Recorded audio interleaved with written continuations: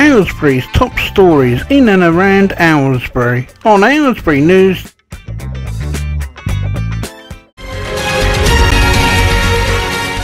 Police appeal following a crash in Cheddington. Police are appealing for witnesses following a crash in Cheddington. The collision happened at 9.05am on Sunday morning when a silver Vauxhall Corsa travelling on the B488 Horton Road, Cheddington, near to Station Road, left the carriageway and collided with a telegraph pole. Five people in the car at the time. An 18 year old male was transported to the John Radcliffe Hospital with serious injuries. He is currently in a serious condition. Two of the occupants were taken to Stoke Mandeville Hospital and treated for minor injuries. They have since been discharged.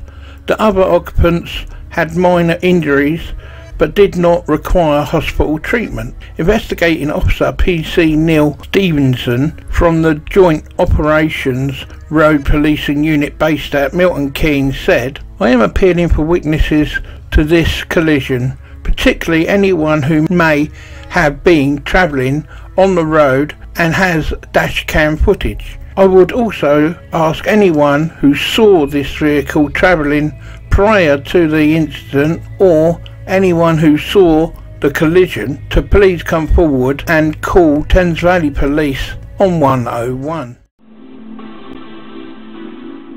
Local MP talks about Hampden Field development.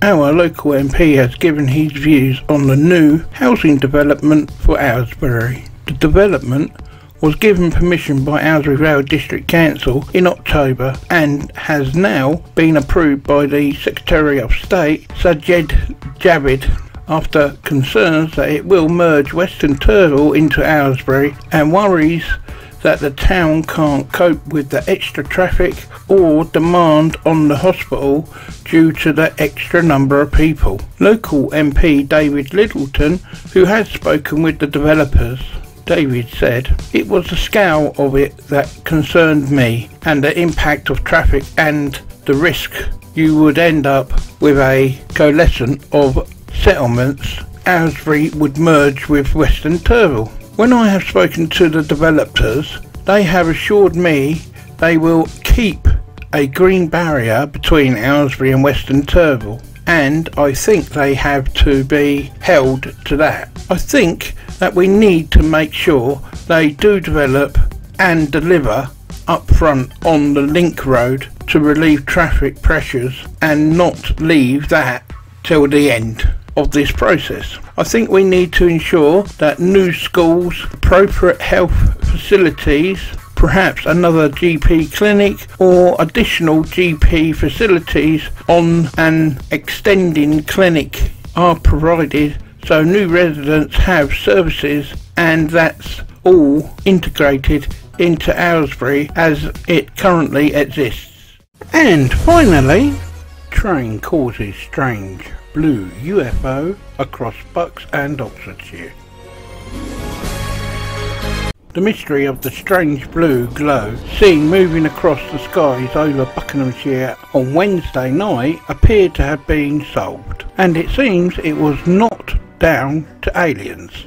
Despite the wave of rumours on social media, pictures emerged from across the county of an eerie blue light travelling slowly overhead. Lots of theories have been put forward including a UFO, blue alien eye and light pollution. The blue light moved across the skies and was spotted from Chinnor and Thame and High Wycombe and Gerrard's Cross, as well as in Oxfordshire. However, a video has emerged which appears to show the cause of the blue glow.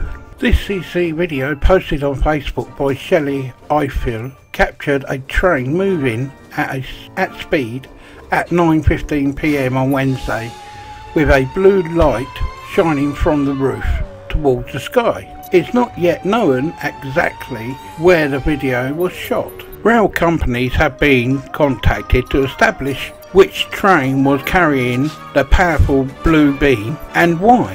Thank you for watching. Please subscribe and leave comments below. Ooh, don't forget to hit that like button and share our videos. Thank you.